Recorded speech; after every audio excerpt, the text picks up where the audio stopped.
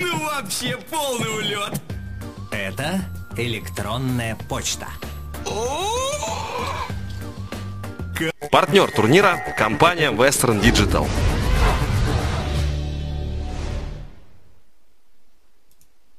Крутишь и укладываешь в стакан. Ну вообще полный улет. Это электронная почта. Как? Проводов нет, а? А Я в интернете. Производительность увеличивается автоматически. Процессор Intel Core i5 с технологией Turbo Boost.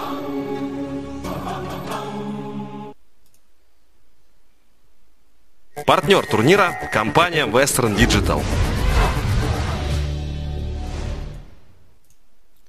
Ну что же, приветствую вас всех на очередном, а, на очередном стриме с турнира Intel Challenge Super Cup. И на этот раз у нас встречается а, российский игрок э, Rock Skis Live Zerg против, против поляка Тарсона. И довольно интересная будет игра. Я в этом на 100% уверен. Так, э, ну, Терран против Зерга. Карта, карта вы видите, э, Сильнага Кевернс э, и что могут играть оба игрока? Ну, я не знаю, по-разному, конечно, играет у нас ЗВТ. Очень много ЗВТ мы видели, вот, например, с GSL, и посмотрим, будет ли а, такой всеми любимый тиранами э, пуш двумя барак, пуш двух бараков, будет ли э, какое-то интересное какие-то интересные страты от Зирга. Ну, я надеюсь, что будет. Тарсон, конечно же, является фаворитом, считался фаворитом этого матча, потому что э, игрок довольно популярный, но выигрывал уже Э, очень много э, очень много выигрывал различных онлайновых э, однодневных турниров типа Go for StarCraft Cup и так далее. Поэтому я думаю, шансов у него побольше в этой игре. Конечно, менее, менее опытным является российский игрок LiveZerg, но тоже, тоже не прост, как кажется. Поэтому я думаю, нас ждет довольно интересный матч. Ну что ж, 15-й 15 хэтчери, как обычно, у Зергов сейчас у нас идет у Лайвзерга. у Тарсона, видите, разведывает все. Лайвзерг видит, что здесь достраивается первый барак, что нету никакого супер чиза. А, и, возможно, все-таки, конечно, будет пуш двух бараков, но пока делается орбиталка, работает газ. А, и второй барак не ставится на данный момент. Э, Тарсоном, ну и Зерх, э, Лайв Зерх решает э, постилить немножечко газа. Ну, Зерги тоже очень любят это дело, почему бы и нет. Ну вот первый марин сюда подбегает. Вы знаете, что стилить газ можно довольно долго. Нужно минимум три марина, чтобы убить наконец-то этого дрона. Ну сейчас будет отмена, еще одно занятие. Да, ну вот это надолго. Э, такая развлекуха себе для пальцев, чтобы немножечко поразминать, так сказать. Здесь мы видим нету у Тарсона второго барака, потому что застроится сразу факторка, и э, LiveZerg теперь может э, чувствовать себя спокойно, потому что вы знаете, как Зерги не любят, когда их э, рашат с двух бараков отбиваться очень тяжело, и даже такие э, жесткие ребята, как Димага, э, не справляются иногда э, с такими пушами. Видим, достроился уже у нас э, у Зерга спаунинг пул, занят уже первый газ, э, работает уже вторая локация, и есть две заказанных квины. Поэтому, в принципе, по-быстрому сейчас э, зерга уже не пробьешь. И можно спокойно выстраиваться и настраиваться на э, длинную макроигру. Э, видим, Старпорт заказан первый. Возможно, будет Банша. Работает у нас пока один газ, поэтому Баншей э, с инвизом мы вряд ли увидим. Это просто такой себе Старпортик. Здесь Лайвзерх ставит э, спорку. Ну, вот постановка спорки на э, Ксельнага Кевернс довольно спорный вопрос. Как бы многие ставят ее вот здесь намного дальше. Но для этого, конечно, нужно распространить крип для того, чтобы это сделать, а первая энергия, конечно же, тратится на э, конечно же, тратится на впрыск, на личинок, э, и поэтому не совсем выгодно. Ну, в принципе, довольно неплохо стоит здесь. Вы видите, вот первый такой мини-пуш с одним рабом пройдет, э, но я думаю, вряд ли получится здесь у Тарсона. Он заезжает здесь в рабов. Э, здесь один Гелион, ой-ой, главное не поставлять эту квину. Едва живой у нас, едва живая у нас СВшка, вот она умирает. Мы смотрим на этого Гелиона, у него 0 килов, в принципе, по 3 кило здесь у морпехов, 4, ой-ой-ой, очень даже неплохо, но но э, Лайфзерх, вы смотрите проблему Лайфзерха, выводит он Квину, ой-ой-ой, выводит Квину скрипа, убьет он этого Марина, но скорее всего сейчас сожгут его эти гелионы. И теряется Квина, да, теряется Квина, сгорела тут просто. Э, видите, такая кучка мяса, нужно заказывать еще, вот заказано еще две квины, доделался уже почти грейд на ускоренный метаболизм, и вот то, что мне нравится больше всего в ЗВТ, это постоянный экшен, это не то, что мы видели, э, не то, что мы видим, например, в играх ТВТ или там э, в Протос vs Terran там идет постоянная веселуха и а, в этом-то и весь прикол том, что весело с самого начала и до самого конца игры. Мы видим, Лайвзерх пытается выбежать сюда вот э, 14 собачками, как раз доделаться, играть на скорости, будет попытаться сюда, попытая, попытается пробежать. Здесь как раз появляется первая квина, ой, ну, вы знаете, Зергушата в узком проходе против двух гелионов, Квины и трех Маринов, это, конечно, это, конечно, провал. Теряет всех, э, теряет все, все свои Э, весь свой почти лимит лайфзерк. И вот здесь вот оставляет одну собачку, чтобы контролить тот момент, когда Тарсон будет занимать экспанд. Э, у Тарсона тем временем заказана вторая уже Баншаут, первая здесь 4 килла уже сделала, но это были собачки вот здесь вот в проходе, конечно. Э, сюда она боится залететь, потому что здесь, конечно же, есть уже Квина. Есть Evolution Chamber, должны делаться грейды. Заказан у нас грейд на лейр, э, ну, потому что увидит, конечно, Баншу, понимает, что может быть инвиз, а если у тебя нет лейра, то э, тяжело отбиться от Квины, конечно, с, с Клаком. Что у нас делается? Грейд на Steam Pack у Тарсона. Ну и Тарсон играет, в принципе, довольно спокойно. Лайвзерх тоже никуда не спешит. Видите, 44-44 лимита. Ну вот это, это беда и не крепается. Только сейчас заказан Оверлорд, делается Бейнлинг Нест, грейд на лейер по-прежнему доделывается. Ну и распространяет Лайвзерх Э, крип немножечко, чтобы э, чувствовать себя поспокойнее, э, когда будет в следующий раз нападать Тарсон. Но Тарсон пока не нападает. Видите, тут Банша залетела, сделала еще 3 килла, но отогнала, отогнала ее с помощью здесь прямо тут 3 квины стоит. Просто такая эшелонированная антиэр защита. Здесь тоже одна квина. Э, доделывается уже Бейнлинг Нес. Заказан здесь ползучий споровик э, антиэровский. Также, ну, больше тут Баншами, конечно, ничего не нахарасишь абсолютно. Э, и Тарсон это прекрасно понимает, поэтому э, просто поднимает свой Старпорт и улетает им подальше. Здесь э, на Тэчлаб сядет у нас садит факторку и э, начнут производить, наверное, танки. Танк уже есть первый, пока, конечно, без грейда на Сиджмод.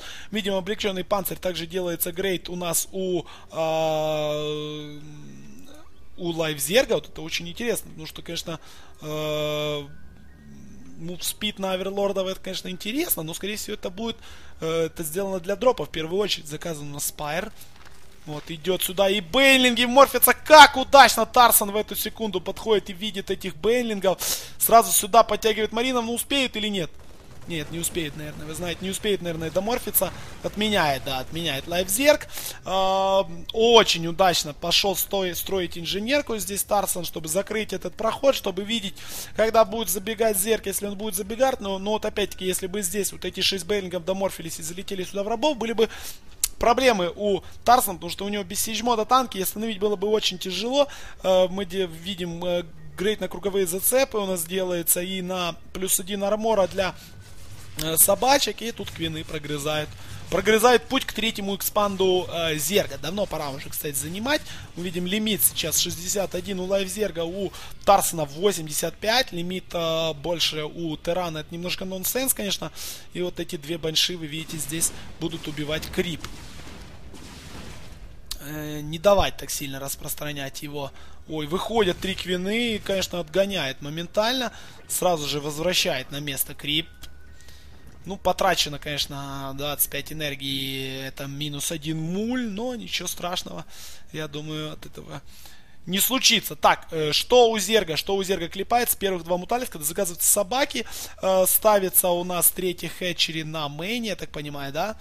Да, ставится третий хетчери на мейне, а у Терана, у Терана есть э, грейд на щит, стимпак уже закончил, делается также грейд на плюс один защиты и плюс один атаки с двух... Э, с двух инженерок, вот одна, где у нас вторая, где-то вот здесь, вот она заныкана вторая.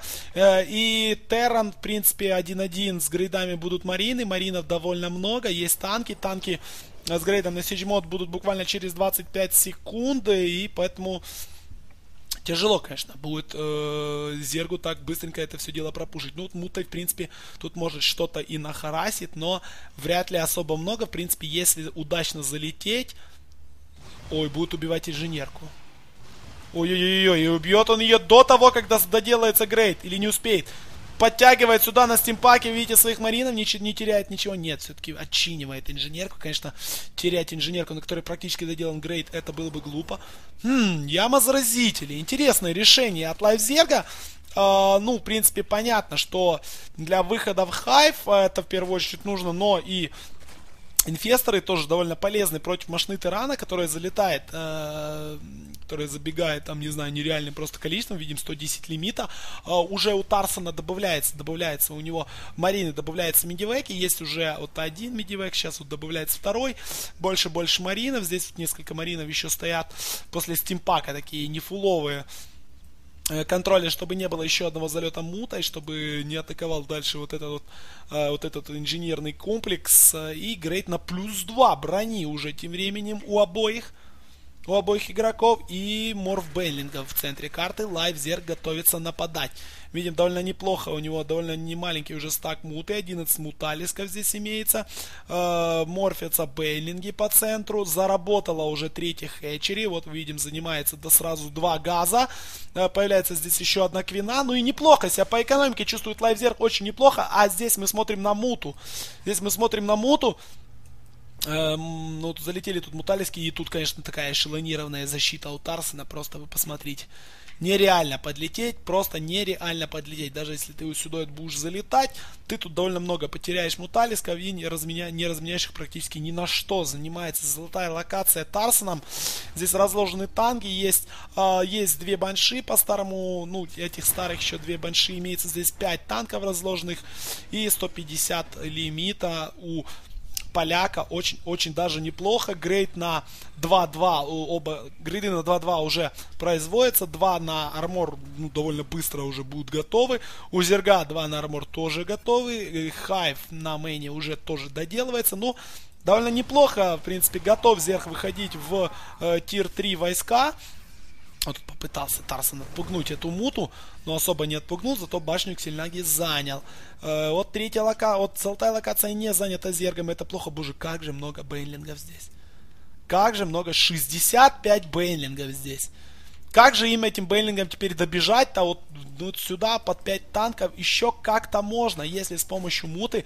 Но если тянуть дальше, то лучше не тянуть дальше. Знаете, есть 4 Э, есть 4 у нас э, заказанных э, инфестора. Занимается золотой экспанд лайфзергом. И вот сейчас будет интересно, куда полетел эта мута. Ой, осторожно, ну нужно... Вот тут, конечно, тоже эшелон... эшелонированный антиэр. Просто противовоздушная оборона шикарно выстроена. Вот мута здесь находит одну точку, как можно нападать. Изничтожает. И тут еще и мутали. И тут еще этих маринов можно поубивать, но под а, медивеком, у которых почти полная мана, это сделать довольно тяжело. Вот подошли сюда инфесторы, у инфесторов нету маны пока на микоз, нужно дождаться, пока появится мана на микоз. Э, ну, это довольно долго, ну как, еще по 10 маны нужно нарегенить. Если Таран нападет именно в этот момент, то будет довольно неприятно. Но Таран пока нападать никуда, никуда не собирается. Тут у нас планетарка, ставится еще одно ЦЦ. 192 лимита у Терана и перегруппирует он свои войска сейчас и идет нападать. Ой-ой-ой-ой, что у нас здесь? Здесь есть уже Манана Микоз, есть здесь Мута. Главное Муте не полопаться. Где эти все бейлинги? Где эта вся машина бейлингов? 80 бейлингов всего, вы смотрите. Ой-ой-ой, тут залетает Муталиский. Довольно неплохая позиция. Здесь в узком проходе, конечно, не, неплохая позиция для Тарсона и очень плохая для Лайвзерга. Он бросает сюда подсветку, разбивает крип. И здесь, видите, с разных сторон. И вот залетает, залетает Беллинги. Нужен сейчас Микоз на это все. Бросает Микоз. Беллинги взрывают. Ай, ну мало, мало, мало, мало, конечно.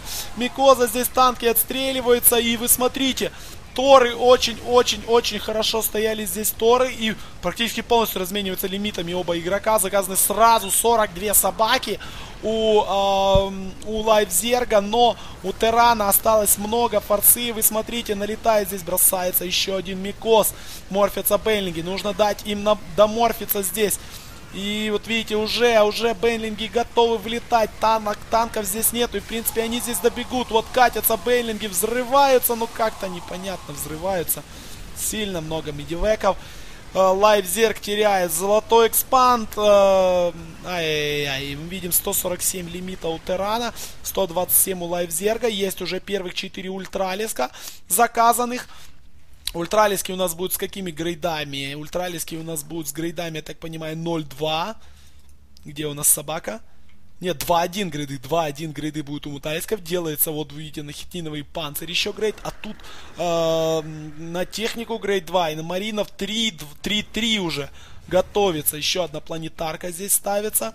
Вот здесь вот занял ее занял себе точку и попытался собаками лавзер залететь, перехватывает это все Тарсон моментально, не дает, конечно, убить свой ЦЦ очередной, здесь вот видим еще одну хэтчер от Лайвзерга, по-прежнему у него работает три локации, но три на три локации, здесь видим, пришли слоны, ну, немножечко, конечно, похавали войск, но под четырьмя, под пятью медивеками и с грейдами 2-2 Марины, конечно, это очень жестокая оружие, заказано еще три слона. Вот отдает просто слонов лайфзерк. Если бы он их не отдавал, если бы он их не отдавал, если бы он их просто попытался как-то скопить и вместе с Микозом, вместе с Бейлингами влететь, ну, может быть, э, еще что-то бы получилось, но но вряд ли сейчас. Так, здесь у нас видим, делается э, грейд на броню ультралиском, вот почти он уже готов. И ну, у Терана, конечно, сейчас огромное преимущество. Грейды 3-3 будут готовы вот через секунд 25. Только сейчас грейд на фугасные снаряды делает Тарсон. Довольно поздно. Грейд плюс 2 на Торы и танки тоже практически готов на атаку. Ну и у Зерга проблема. У Зерга проблемы и с экономикой. У Зерга вот сейчас пропаливает э, Терран, что опять занят золотой экспанд. И, конечно же, тут же будет готовиться его отбивать. Залетает сюда Баншау, который 14 килов, умирает. И вот пошли Бенлинги вместе со слонами. Взрывается под танками Бенлинги. Ну и слоны тут, конечно, ничего не могут сделать. GG заканчивается этот матч. 1-0 в серии повел Тарсан. Ну что же, ждем.